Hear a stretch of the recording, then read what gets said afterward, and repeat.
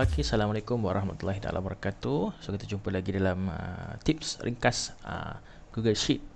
Okay, so biasanya kalau kita buat uh, form Kita gunakan section Kita punya form akan split. Kita punya apa respon uh, dalam Google Sheet ni akan split kepada tiga bahagian ni lah. Dan ini menyukarkan sikit-sikit untuk kita buat. Kita buat report ke, kita nak buat summary ke Sebab sebab dia dia terasing. Dia, dia bukan satu row. Okey kalau kita ada 25 kelas dia akan buat 25 25 kolom. Okey okey jadi uh, cara paling senang dia kita buat kita buat satu kolom dia tujung sekali. Kita gabungkan the whole tiga kolom ni jadikan satu. Okey so cara dia tak susah pun kita gabungkan. Sama dengan okey sama dengan kolom yang pertama G. G G2 G kita nak ambil the whole G ni Okey, kita letak uh, dan buka buka kata dan untuk kata kita gabungkan kolom dan kita gabungkan kolom H. H2 H.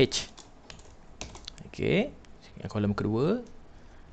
Kol dan dan. Uh, dan. Apa nama dan ni? Bukan dan ni n persen ke? N persen ke nama dia? Apa ni nama dia? Lupa dah Okey, lepas tu I. I. Dua. I. Okey, ha, tu je. Nah, tiga. Kita gabung dengan tiga. Dan juga satu, kita nak kita nak dia gabung ni bukan satu row aja Kita nak dia buat array. Okey, dia akan jadikan array formula. Kita tekan alternate shift enter. Okey, dia akan jadikan array formula. Dan kita enter. The whole the whole apa row ni akan digabungkan. Ha, jadi memudahkan sikit kita nak buat report ke apa benda ke. Ha, dan kita bagilah satu nama dia adalah nama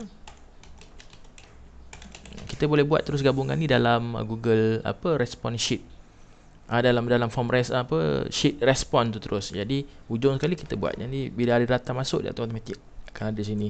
Jadi kita boleh kita import dalam data studio ke kita tak susah lah ha, dan juga ingat bila kita buat nama dia apa kita buat section tu pastikan nama setiap item tu berlainan ya, bila kita masuk data studio dia tak terima dalam nama sama nama nama nama jadi buat nama satu nama dua nama tiga ha, jadi mudah bila kita nak masuk dalam data studio Okey, okey itu saja perkongsian dari saya.